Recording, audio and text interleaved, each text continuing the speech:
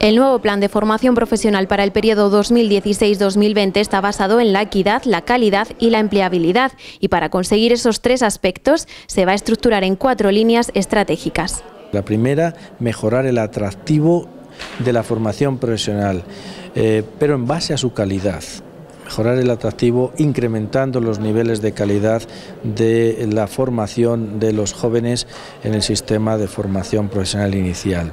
La segunda es el aprendizaje a lo largo de la vida. Eh, lo que aprenden nuestros jóvenes eh, hoy en los centros eh, tienen que digamos, seguir mejorándolo e incorporando nuevas competencias, nuevos aprendizajes para mantener sus puestos de trabajo, para seguir siendo útiles en el sistema productivo.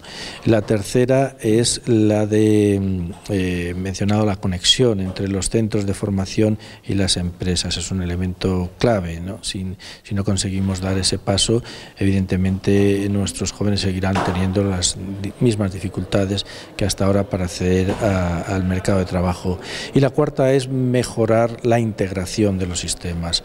Agustín Sigüenza lo ha presentado dentro del foro de FP Nuevos Desafíos que se celebra en las Cortes de Castilla y León y en el que se está hablando sobre todo de la formación profesional dual.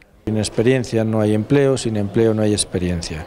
Nuestra idea es romper ese círculo vicioso, utilizando modelos que han tenido éxito en otros países, que hemos visto que han funcionado, como son eh, Suiza, Austria o Alemania.